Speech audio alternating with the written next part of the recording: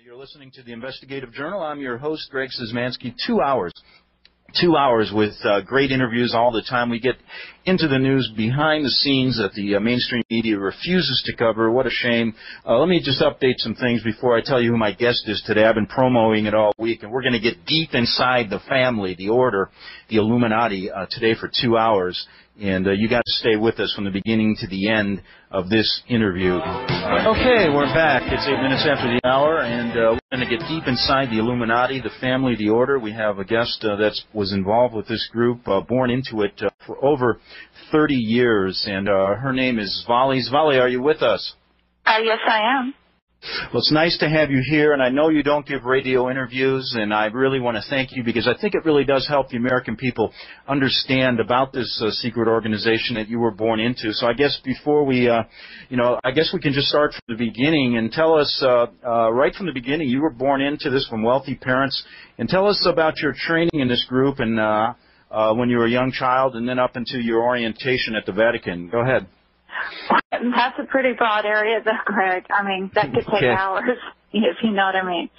Um, Yes, but- but do you know just uh, if you Yeah. could just outline it for us. Yeah. I mean, I was born in the group. I was born in Germany, came to the U.S. very young, um, and basically went through um, all the training that the group, all members of the group do undergo uh, training to different degrees, depending on the role. Um, after, uh, by the time I was a teenager, I was a youth leader, and by the time I was uh, 22, I became the youngest member of Leadership Council in San Diego County. And at that time, I was a head trainer. Um, I was the sixth trainer. I eventually moved up to the second position. Mhm. And um, when I was 12, I I had mentioned with you the ceremony in at the Vatican uh, that they Right. really do make all all leadership in the group undergo at some point. Now, uh, can you now basically when you were growing up, I remember you told me that you were instilled at a young age. Uh, you were born to a very wealthy, uh, well-to-do family. You moved Yes. back to the states. You were told at a very young age you were special. You were chosen. Uh, cor- uh, correct? Well, they tell everyone in the group that they're special and chosen. And in fact, that's one of the things that made me very cynical when I was older is that, you know, I mean, you will never meet a person who's an Illuminati who's not been told and programmed for years that they're special. They're the only one that can do things for quote unquote family.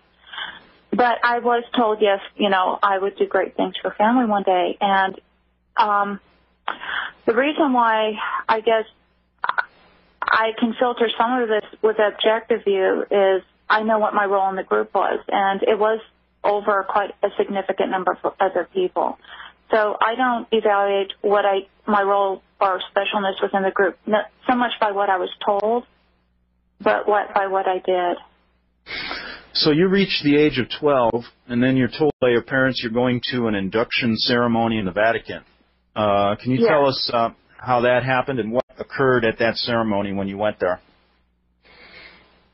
Okay, um, this isn't easy to talk about, as you know. Um, when I was 12, uh, I was flown over to Germany, and I was at, I'll call him the German father's house over there. And there was some preparation for a few days beforehand, and I was told that there would be a very important ceremony, and it was considered a sealing ceremony at that point. And basically, I was told a little bit about what I was expected to do during the ceremony. You know, when we got there, um, we we went to the Vatican. Um, there's underneath the Vatican. There's a, there's a large room that I described to you when we talked before.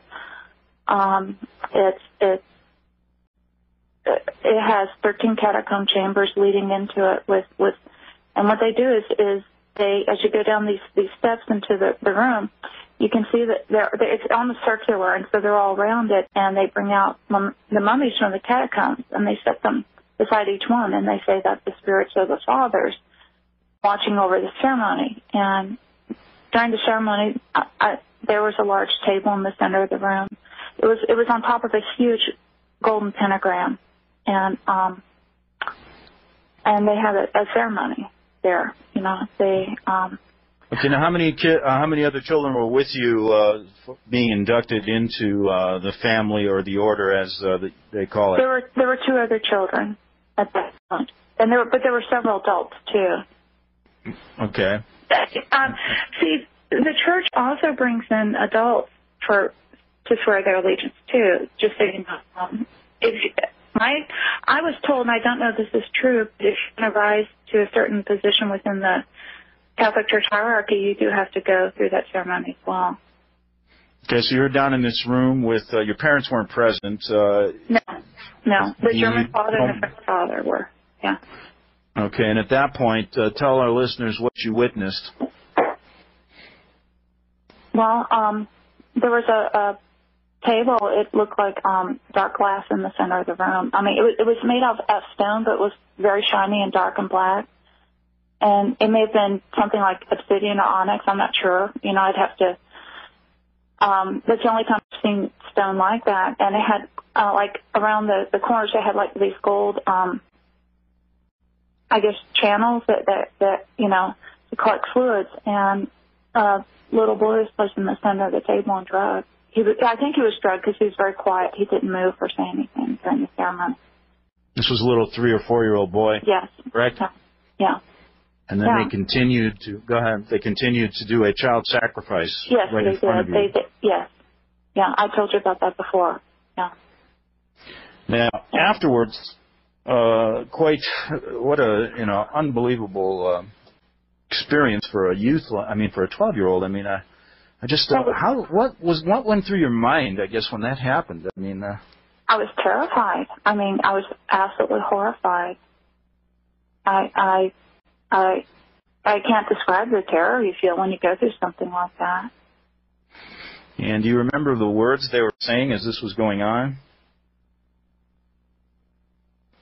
The man was in scarlet. He was speaking in Latin, and basically he he was saying, you know, please accept the sacrifice, you know, on this day. But then, you know, and then he said the sacrifice will seal the seal the ceremony, and then he he did it. Again, I was so terrified that. Have, have you ever been in a situation where your your your heart's racing, but you can't do anything, and so you're just kind of sitting there and, and you're kind of like fading in and out?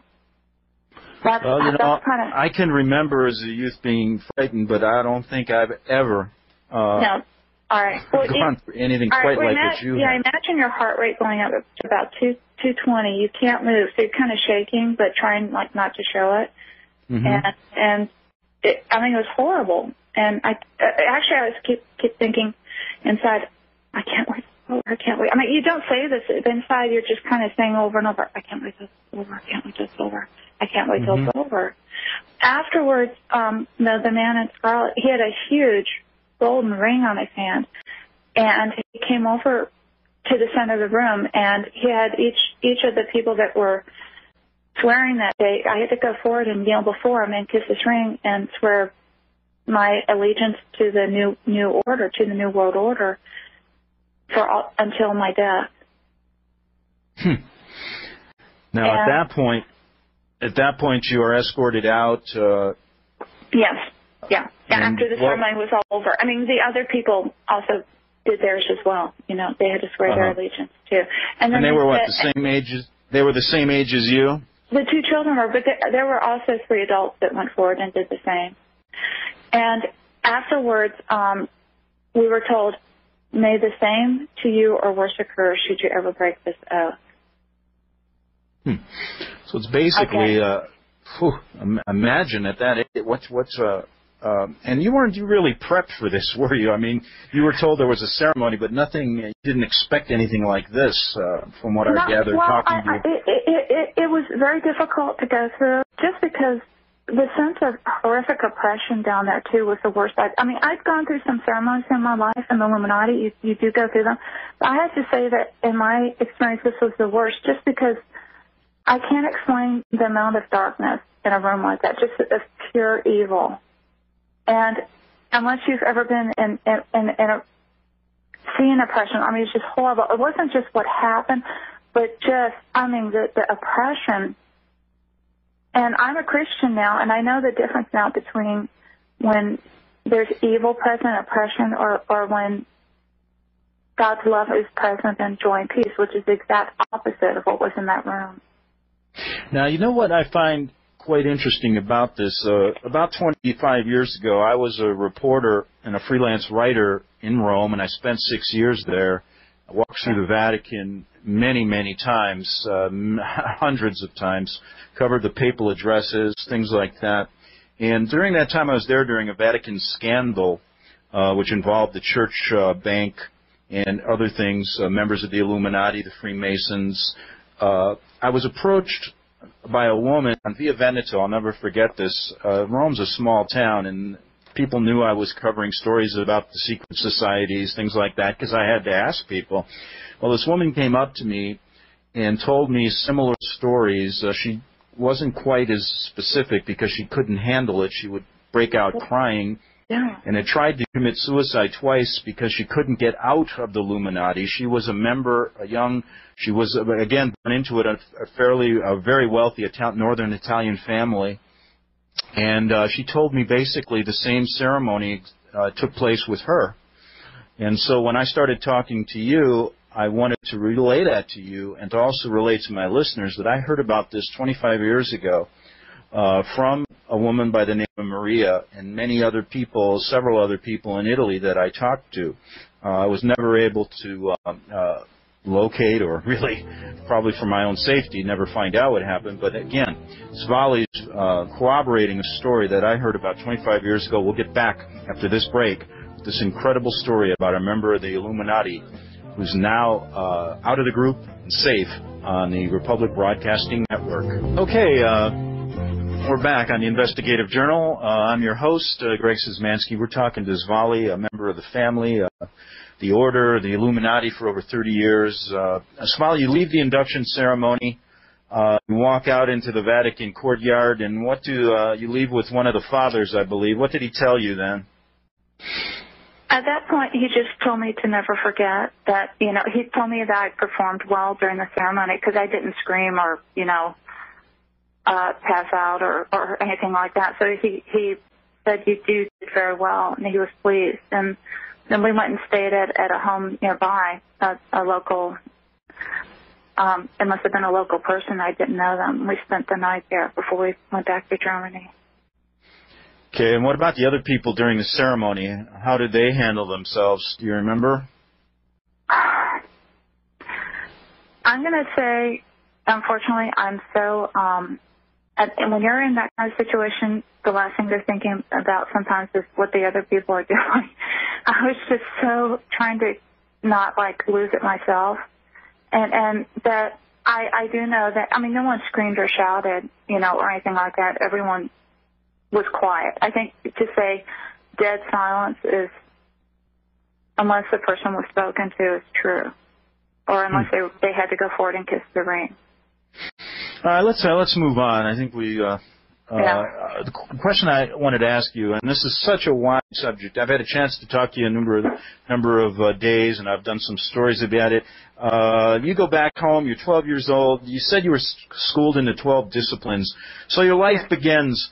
Uh, and you know now you're in some type of organization that isn't uh, that is very different than uh, what most people experience.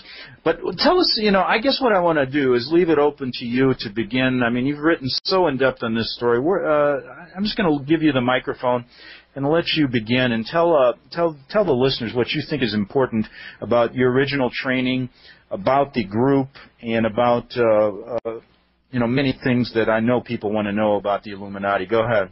Okay.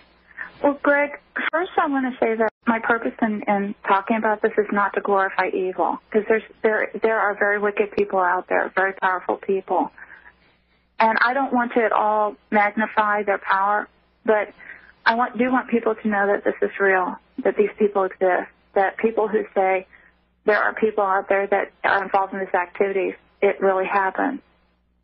Um, I also, because I know that there are children being hurt in the group every day, and that's my motivation for coming forward.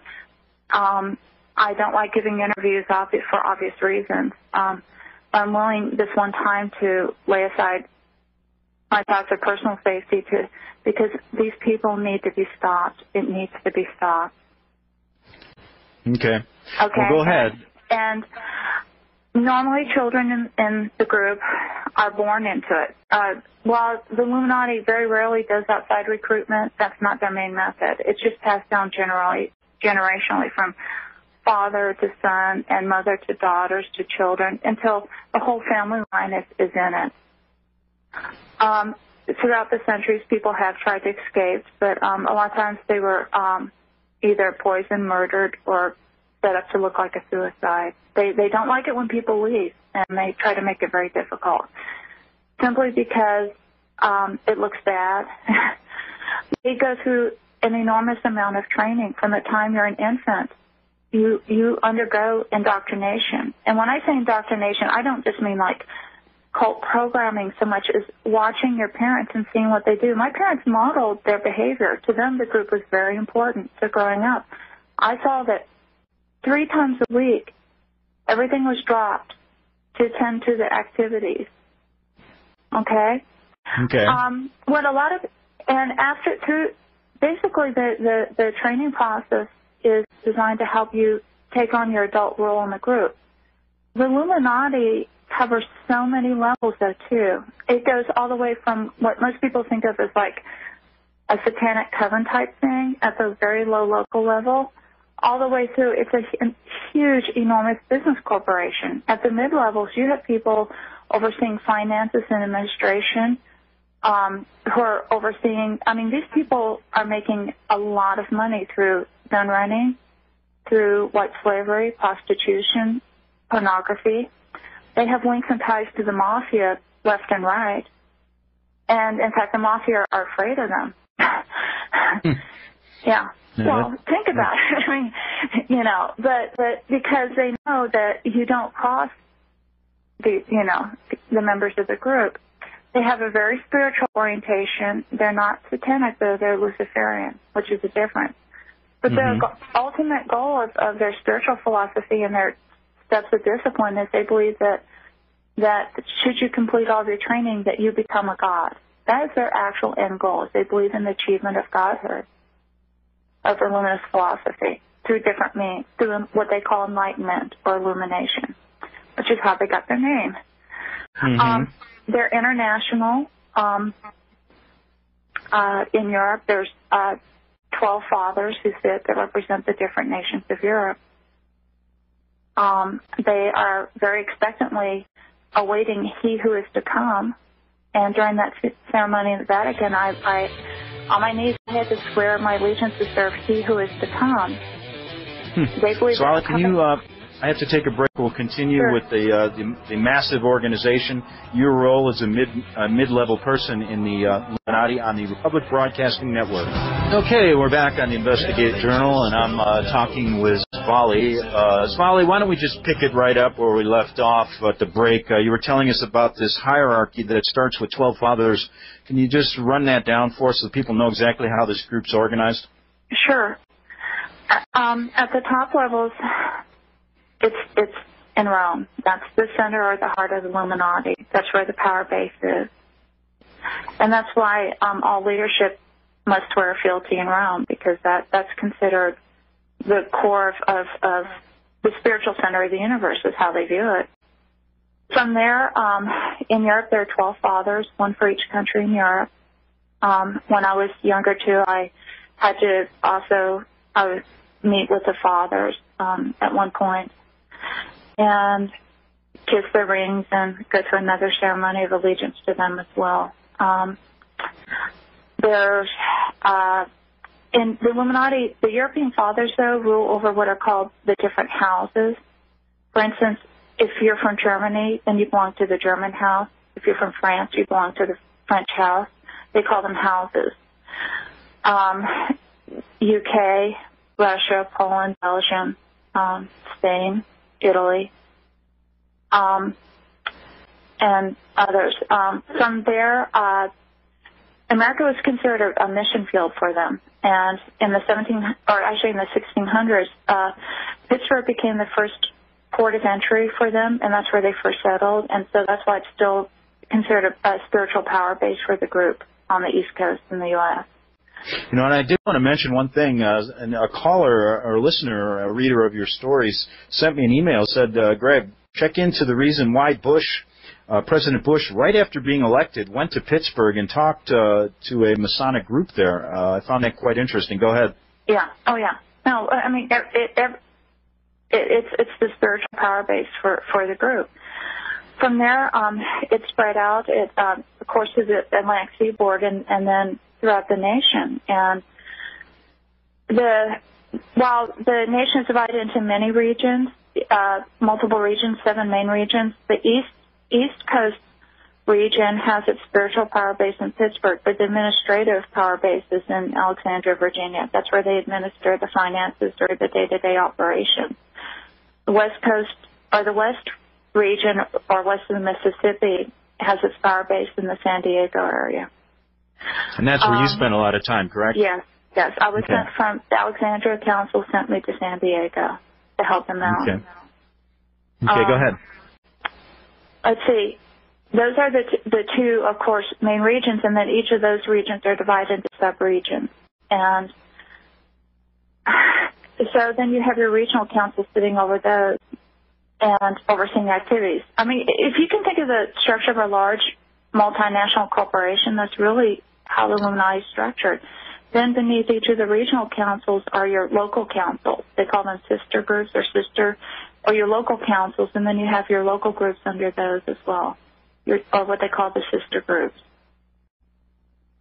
So um, any major metropolitan city could have anywhere from 5 to 15 groups, depending on the size population base. Now you were saying that uh, uh, how many people Uh-huh. are in this group in America? About from your estimate uh, of knowing a lot of this stuff. Go ahead. Pure Illuminati, I'd say about 1%, give or take. Based So you're, you look. It's a fairly you, uh, big organization, correct? Yes. Oh, yeah. Now they're, you know, just in the in the uh, their goal basically. Just give us the ov- the broad overview goal, and then I want to get into some of these. Uh, uh, you know your role in it, and uh, some of these uh, re- uh, ways that the Illuminati makes money that you learned about. Go ahead. Yeah.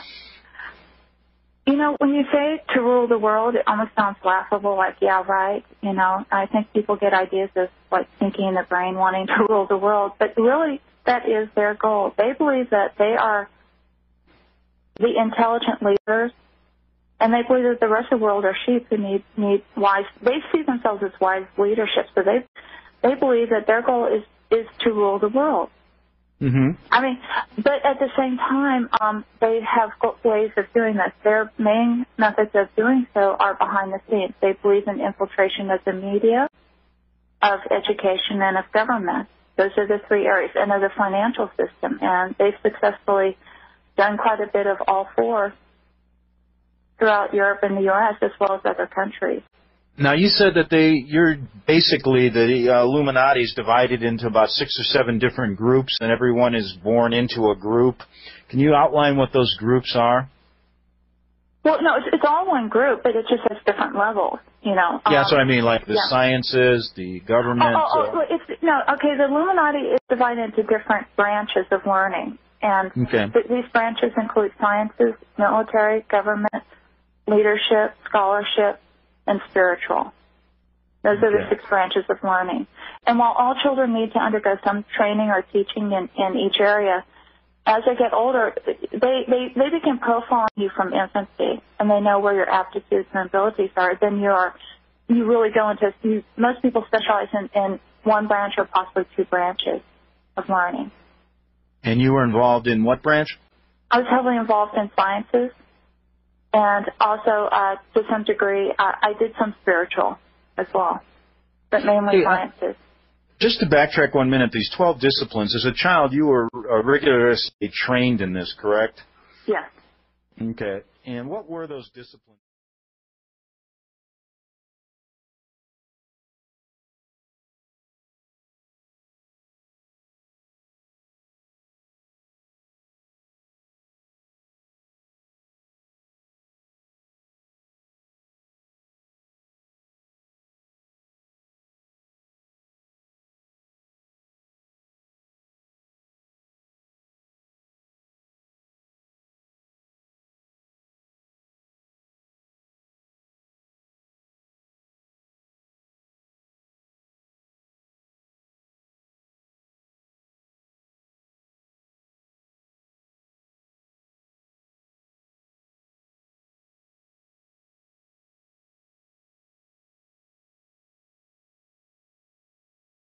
Were those disciplines? I mean, if just uh, you don't have to go through each one of them, but what primarily were you taught? Um, I think the best way would be to just give you an example of just one one type of training that they do. Okay. When I, I was two years old, I was left in a room for probably a 24-hour period. When you're that age, it's hard to estimate, but it was a long time. I know that the sun did go around at least once. You know, it wasn't just like a few hours.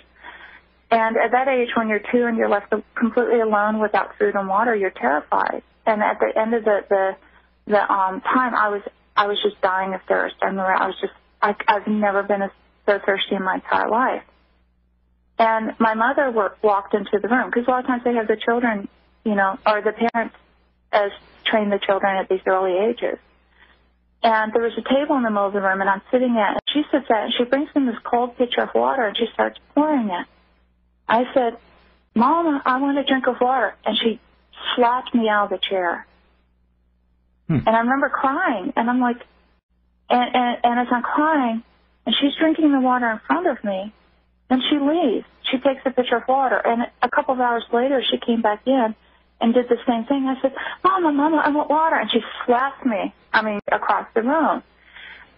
And after this had happened about three times, luckily I was bright enough that by the third time she came in, I mean, I remember crying violently. I just looked at her. I didn't ask. And after she got up and left with the pitcher, then then a man, a man came into the room. He said, "You did very well that time." And then he, he gave me a drink of water. Hmm. And I've always, you know, this that was part of the learning not to want stage. And looking back on it, I realize now as an, an adult that the purpose of that that training was to teach me not to recognize my own physiological needs and respond to them, but to look to outside people to tell me what I wanted or needed. Which Now is, you basically, is, uh, you know, you told me that you led kind of a dual life in the Illuminati. I mean, that's basically how they function. They have a, Oh yeah, yeah. a day job, and then at nighttime you're quite Oh, yeah. busy sometimes with the cult's activities. Correct? Yes. Okay. Uh, what I wanted to get into, uh, if you, you know, you were talking about these groups. I remember I mentioned to you, uh, you were going, you said you had meetings three times a week, and I said, well, what about if I wanted to go and visit, uh, and maybe do a story about them? What, uh, what would happen, or how could would I be able to find one of these meetings uh, that were going on where in your area of Escondido? Well, no, because of the security measures. And A, you really don't want to show up unannounced at a meeting if you could get through their security because chances are you would never make it out alive. Let's just say that a sudden auto accident would occur and be reported in the papers. Unfortunate accident, man accidentally runs into tree. I mean, I'm serious. I'm, but the security that they have during group meetings is, is so intense that it would be very difficult. They have uh, security at the one mile perimeter, the three mile perimeter, and the five mile perimeter. They have um, three people assigned. Usually one's like up in a tree where you can't see him at the Mhm. at the five mile perimeter, and then you have one person who's standing who looks like a security guard for this state because these are often large wealthy states, which is appropriate, and he's dressed in the uniform. And the third person's standing behind, hidden behind a tree. As cars come through and they come through the gates, because remember these are these are gated estates. Mm-hmm. You know, so that, you know, if it's not someone on their approved license checklist, they will stop the car and they it's, it's, it's just like at a military um, installation. They'll say, can I help you? Are you lost? Their goal is to delay the person. Now, if a person saying, oh, is this blah, blah, blah, and they're, and they, and they're just asking directions, they'll give them directions. They'll be very pleasant and send them on their way to, to where Mhm. they're supposed to be going. But if they are acting as if they want to go further into the state, and this is not an okay person, then the person they will say, uh, all right, well let's let's let's either say he's not expecting you. That's a code word. That tells a person either behind up in the tree, hidden or else behind, hidden further back. They radio ahead and they say unexpected visitor. At that point, everyone would has been trained to pick up and leave immediately within five minutes. No traces of the activity. Hmm. So this is this is um, some of the methods they go through so you don't get caught. I know that uh, you wrote an article about why the cult doesn't get caught, and that's oh, yeah. pretty specific. I mean, you have so much stuff here, and we can't get into it all in two hours. So please pick and choose what you think is most important. But I found that to be interesting. Uh, why the cult doesn't get caught? Is there anything in just a brief uh, time you could explain to us uh, that? Well, their security, their money, their influence.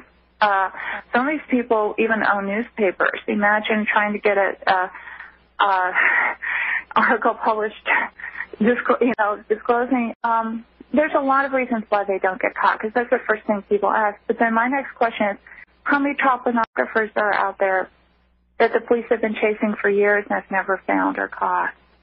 Correct. And, and, and they're not even members of a secret organization. They're just trying to hide, you know. So mm-hmm. when now you, you about, okay. Yeah. You are a mid-level person in this organization, a head trainer. We're going to get into those specifics in the next hour.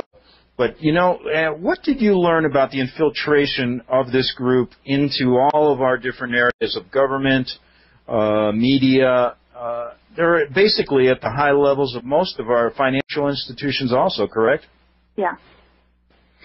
And that is a, a great way to uh, pursue their goal. And I guess I got to ask you this: Why? How come things are moving a little bit uh, faster in America now? I remember back in the '80s when I was uh, confronted with this.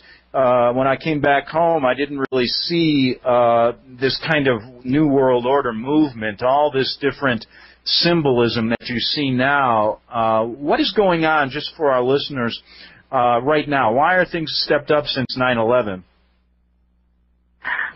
I believe it's because they see they can see the fulfillment of their goal of see.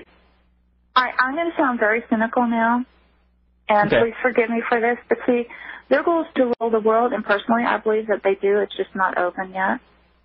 And Mhm. they see now preparing people for when they disclose it themselves openly. Does that mean that they can't be stopped? I believe they could. I believe they take a miracle because of the amount of infiltration I've seen at all levels of society and the world.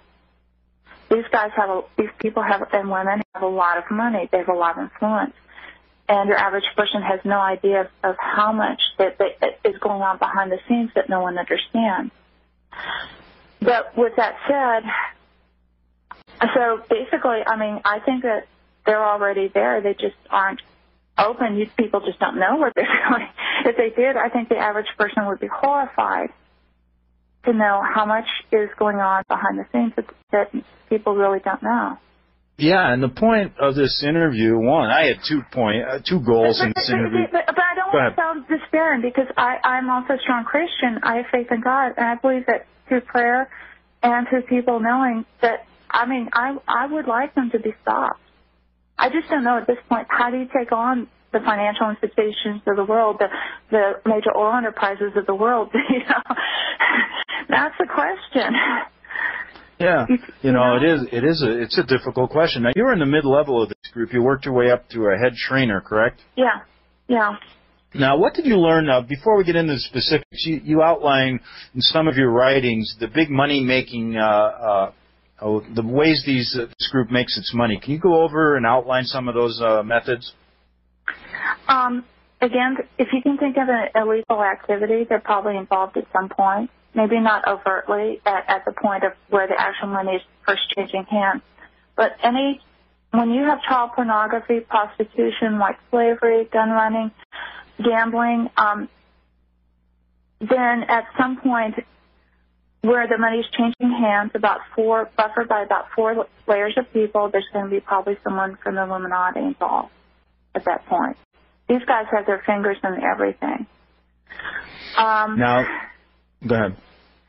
But they also use legitimate means. They launder their money. I mean, when you have a lot of money, you have to do something with it. And so what they'll quite, they, I mean, these men don't come in and say, hi, I'm a member of the Illuminati and I want to like run your bank. But what they'll do is they'll quietly come in and become a, a quiet investor, start buying up shares.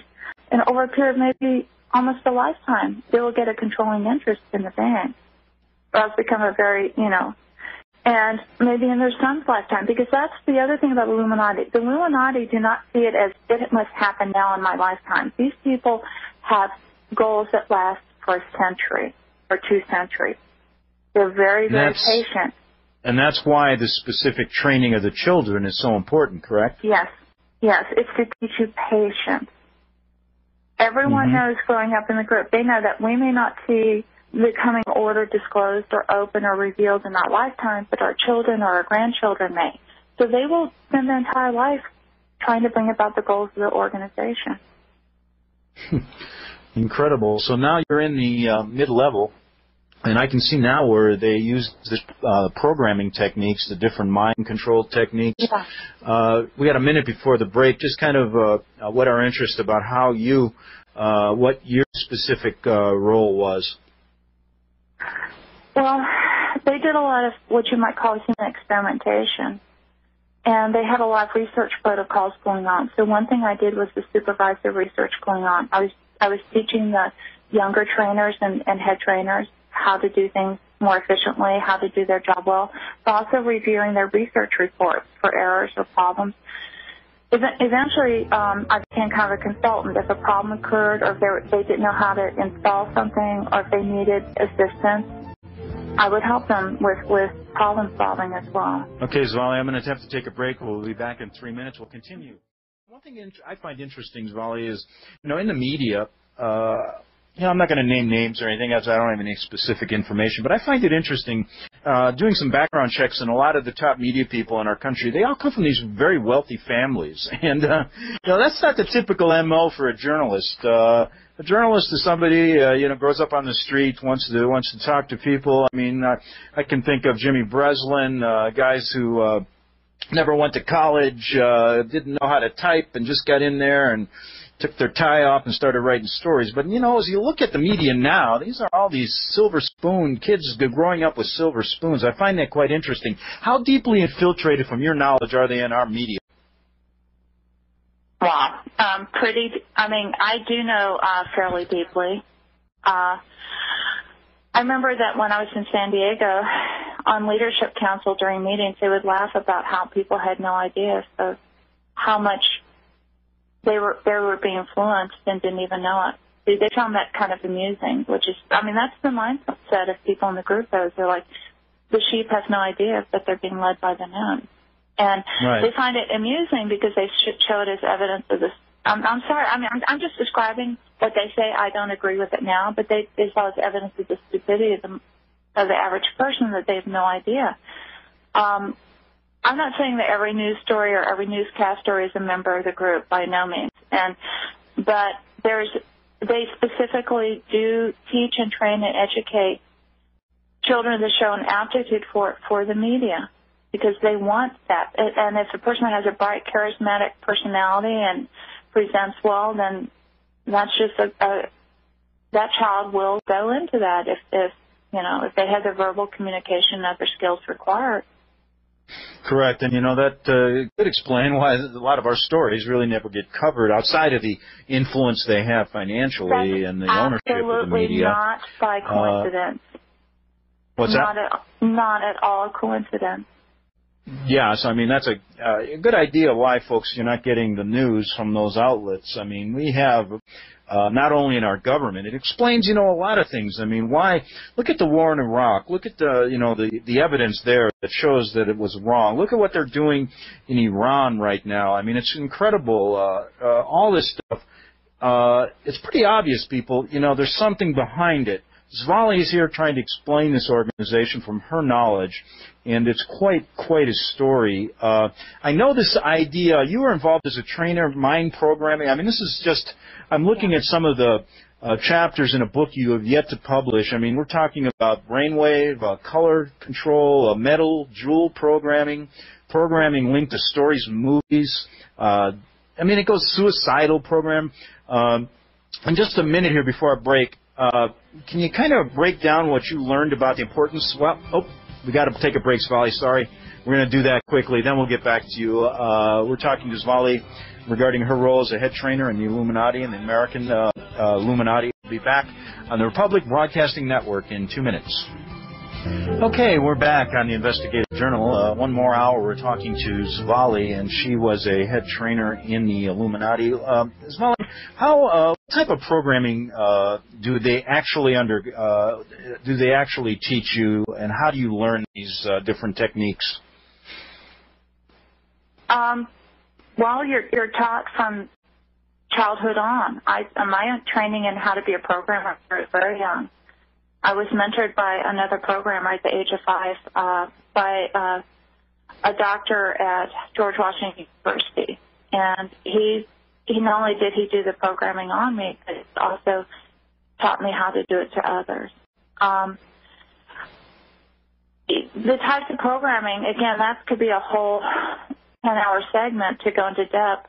Um, just briefly, it, I mean, from the time a child's an infant, all through their life, basically, they're tested, they're profiled. They, the um, trainers can create a psychological profile, and then they update it frequently. And basically, they're trying to install in the child the ability to obey, loyalty to the group, and the ability to do their job within the, the group. Now, those jobs vary in complexity. I mean, you may have uh, on one side a child trained to be a, a prostitute. On the other end, you may have someone, a child trained to become a governmental figure, which is a lot more complex programming. But as long as the loyalty to the group is instilled first, and, and that's the first and foremost programming always installed, then no matter what their eventual role is, they will they will remain loyal, and that becomes their first loyalty. Whatever nation, whatever um, their their public role in life is, their first and foremost loyalty will be to the group and to serve its its goals. Whether they know, a lot of times the goal there too is, is to be able to uh, help the child create that complete division between their day role and their night role. So a pleasant, charming, wonderful, kind person in the daytime could be an absolutely cold, ruthless person at night or, or during the day. You know, it's also during the day they do it. They may, um, you may have a housewife with children who goes out and completes a courier job for the group. And no one would ever suspect her. This this frumpy looking little housewife with a, a baby in a car seat is actually carrying some valuable documents. Or um, again, I mean, the, the first and foremost though is they want to instill loyalty, and they want to discourage people from questioning orders. That's they really don't want you questioning that, and they want you to obey their directives. And should people show signs of not doing that, then they go in for tips. You're, you're actually people are being programmed all through their life. We used to call them tune-ups, you know, and um, it, it's a lifelong process for members of the group. So, you know, we have a minute here before our break, and then we'll get back and get in depth in some of these areas. But uh, what went wrong with you? I mean, the dropout rate probably is very low, uh, considering the number of, considering the the training. But what went wrong with you? They somehow uh, missed a, missed something. When I was very young, I was I absolutely believed in the goals of it. You never saw a more loyal group member. I thought that they were saving the world. I thought that that that they were doing a wonderful thing.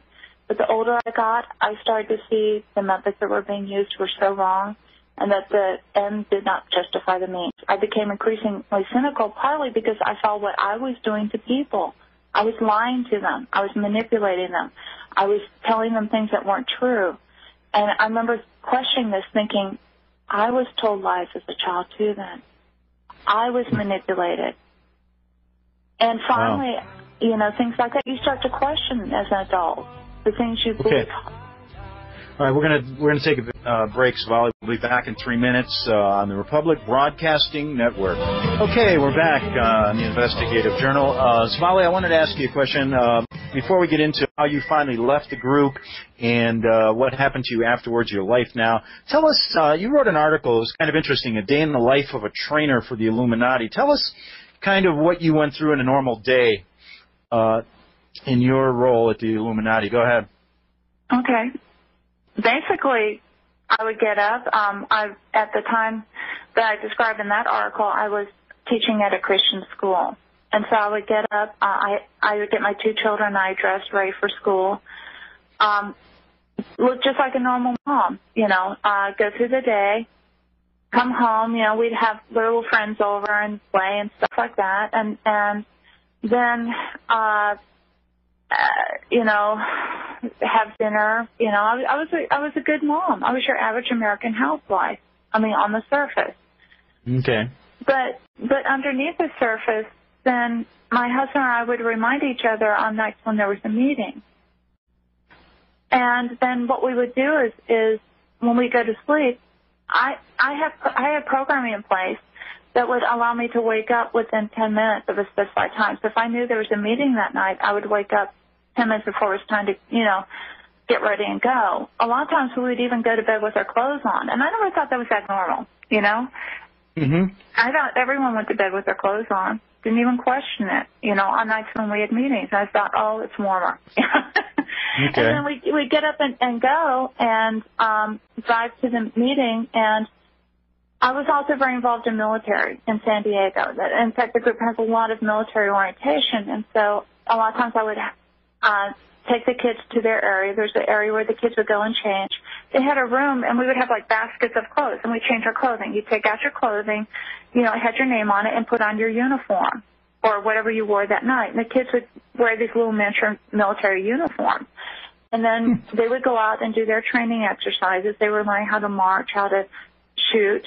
I mean, every, I mean, I, all kids in Illuminati know, um, at least in, in that area, know how to like take apart a gun, put it together, and, and shoot with deadly accuracy by the age of eight years old.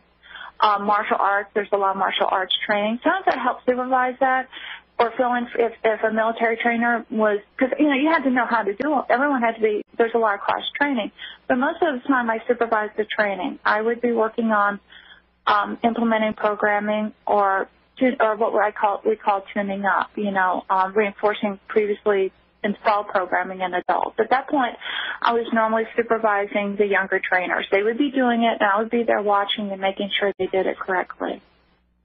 Um, or else um, I would be also evaluating like whether sometimes every once in a while we'd be doing we'd be, be working on something that was somewhat experimental, and then I'd be and then I would be taking a more active role assessing the person's responses to, to the new protocol, recording it, and and if there was any difference difference between established parameters for that protocol or expected responses, you know, I'd be flagging that. Give me an example of someone that you were working on. What, uh, how would they be introduced? What would be the reason? Are they in the military? What is, uh, how does someone get sent to you? No, these were all members of the group. Oh, okay. Oh, oh, in fact, well, in fact, I, I can tell you that in San Diego, 20% of the active members of the group were active military. Okay. Okay, and think military intelligence, think high-ranking um, officials, colonels, um, you know, commanders. My ex-husband was a lieutenant commander in the Navy, getting ready to become a commander. Okay.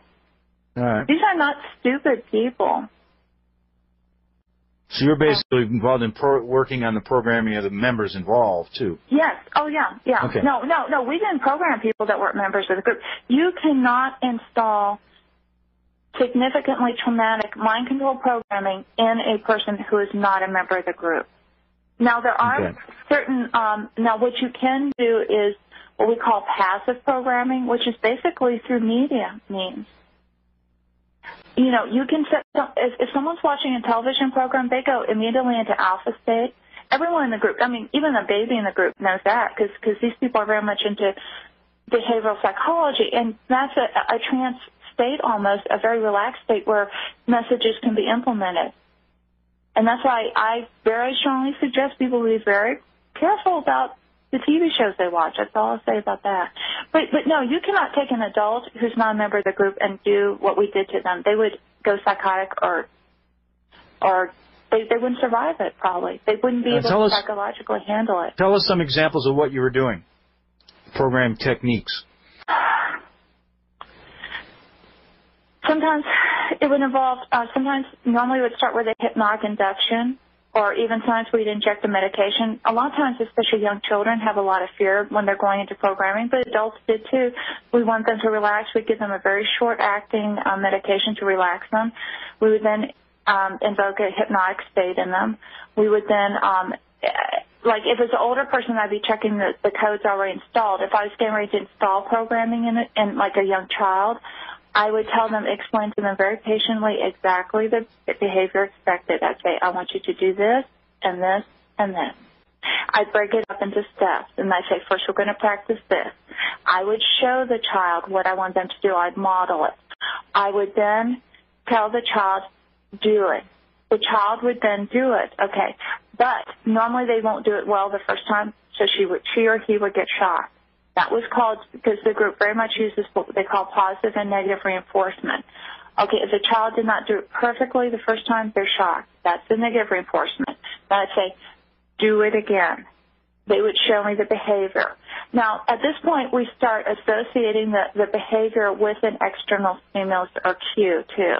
Now, a lot of times the child is, if, if this is a behavior, though, that we want associated with a specific code, the child will often been traumatized very heavily first to create a fragmentation in their personality.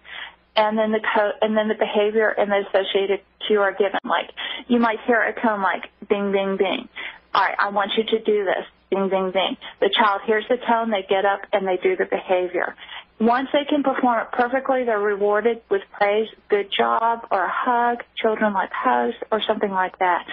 Then you do it over and over and over. That's why trainers have to be very patient people. Um, because then maybe after the child's done it 50 times, then they hear the cue, they get up, they do it. it it's not even a, a conscious, it's, it's reflexive. At that point, it's considered installed. For very, very important programming, I'm talking about like like N-level assassin programming because we did train people how to assassinate people, and that's a whole other topic I don't want to go into here. Um, okay. we, we would then do a ritual to to heal the programming afterwards. Okay. Okay. You know something? Just uh, I was just looking at some of your articles. One was Christmas in the cult, just to get off on a different subject here. Sure. And you say this is quite different for you when you were growing up than it is for most children. Can you just kind of briefly tell us what you meant by that? Yeah, um, I mean, we had trees and presents and things like that, but for most children, Christmas is just happy time, you know, lots of presents. But in the group, not some very high ceremonies that are celebrated. A lot, uh, several times, that many times, I flew to, to Germany, and there um, there was no Santa Claus. They had a figure called Father Yule, who is mm-hmm. Who represents Christmas there, but he is not the kind of benevolent Santa that you see here. This is a man with a golden scepter, dressed in a white robe and a golden sash around. And I was once um, at the German father's house where there was a gathering of children and adults, and and Father Yule was present, and he raises the scepter and basically um, strikes down the child in front of everyone. Oh my God! I know. Strikes down I know. the child. Yes, he struck down the child with his his his scepter, and that that is not what you call a happy Christmas, you know.